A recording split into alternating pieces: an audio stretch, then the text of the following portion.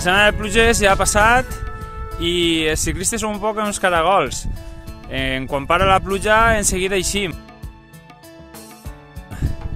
Ens estem acostant ja a final d'any i és moment de fer un balanç del que ha sigut aquest any, amb les marxes que hem fet i sobretot eh, contar un poc quins són els objectius i quines marxes tenim idea de fer de cara al 2020 que si no passa res i tot va bé serà un any molt bonic a nivell de, de marxes perquè anem a fer algunes que són molt xules.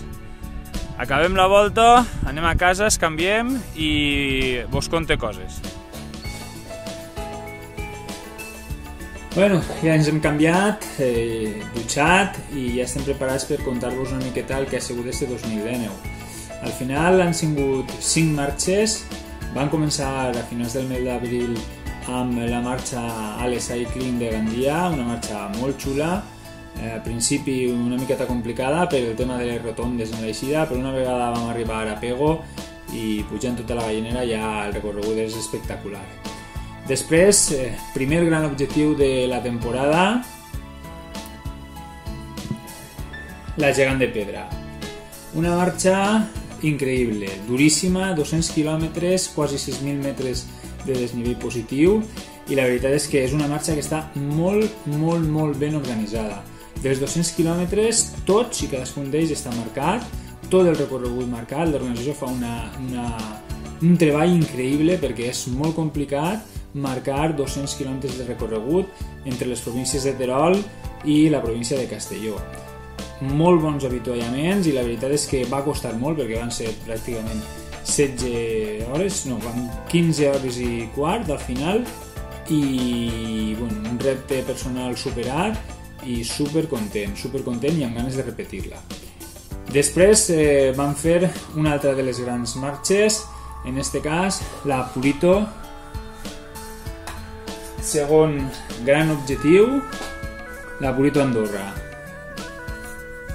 Marxa també molt ben organitzada, molt bon ambient, la veritat és que Joaquim Rodríguez i el seu grup eh, l'organitzen de meravella, un recorregut super exigent, però increïblement bonic. Mm, els ports andorrans són espectaculars, tant per la seva llargària com per la seva duresa, com per les vistes que tenim. I després, una vegada passat l'estiu, vam acabar, hem acabat amb dos marxes, la marxa de la Pobla Llarga, de carretera, i per últim la BTT d'Ontinyent, eh, en casa, final de temporada que ja se'ns ha fet una miqueta llarg, però al final també la van disfrutar molt. I què anem a fer per al 2020? Bueno, el 2020 hi ha dos objectius fonamentals. Primer, repetir gegant de pedra, però en aquest cas en la. Eh, prova de 100, aproximadament 114 quilòmetres i la veritat és que amb moltes ganes perquè part del recorregut es fa la gegant de pedra i hi ha algunes zones que, que són molt espectaculars com per exemple el mur de Llucena, una rampa de vora 50-60 metres amb més del 35% de desnivell i la veritat és que amb moltes ganes de tornar a la gegant de pedra perquè l'any passat se'ns va quedar un, un record molt bonic. I després també el segon gran objectiu i podríem dir que l'objectiu principal de la temporada serà debutar en la pedal de foc non-stop. Més de 200 quilòmetres eh, en el Pirineu. Eh, la gent amb la que he parlat m'ha comentat que és una prova que en principi és més fàcil a nivell tècnic que la gegant de pedra, però mm, a mi em fa por una cosa i és l'altura.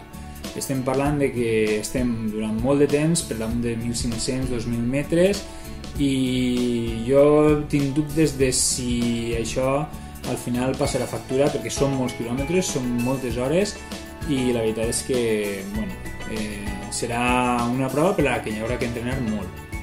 Eh, i després eh, dos objectius secundaris la marxa de València en este cas de carretera ha canviat el seu, el seu recorregut, el seu circuit era un recorregut pla i l'any passat el van, el van canviar van posar ports de muntanya eh, els meus companys d'entrenament eh, tenim una màxima que és no climb no cycling i per tant mm, doncs, com a marxa preparatòria d'aquesta pedal de foc non-stop eh, pense que pot ser molt interessant. i després eh, al setembre si no passa res la idea seria fer la Titan de la Manxa en companyia, prova de 200 km BTT però molt més rodadora, molt més assequible que o la gegant de pedra o la pedals de foc non-stop i acabar la temporada, lògicament, si es torna a fer amb la marxa BTT d'Ontinyent.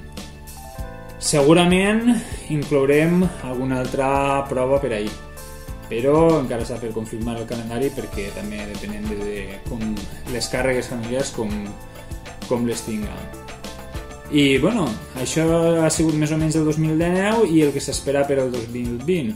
Eh, espero que vos hagi agradat el vídeo i si teniu qualsevol pregunta les podeu deixar als comentaris i si voleu vos podeu subscriure al canal. Fins a l'altre vídeo.